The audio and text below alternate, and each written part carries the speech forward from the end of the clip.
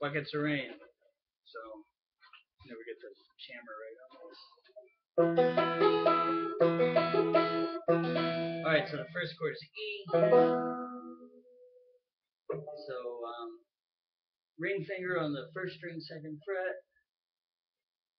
First finger, uh, index finger on the third string.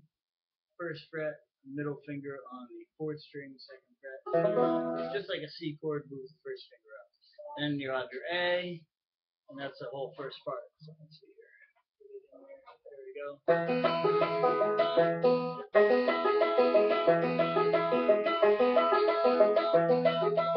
The A chord.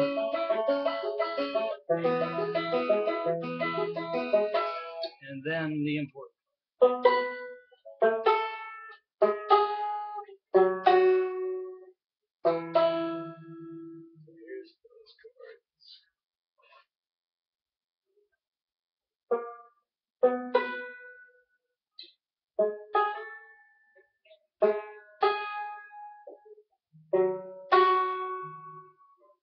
Alright,